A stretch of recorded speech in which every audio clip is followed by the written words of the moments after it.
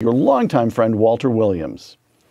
Now we come to current politics. The bottom line is that President Donald Trump does not have the personal character that we would want our children to imitate, but save his misguided international trade policies, has turned out to be a good president.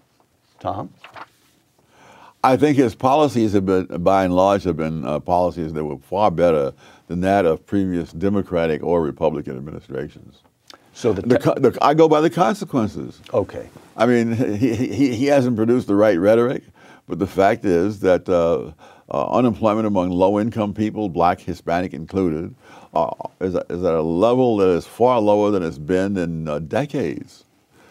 The economy is booming in a way that uh, no one had predicted. I, people like uh, Paul, Paul, Krugman was saying that when Trump gets in, the economy is going to tank. No, uh, the economy hit new highs.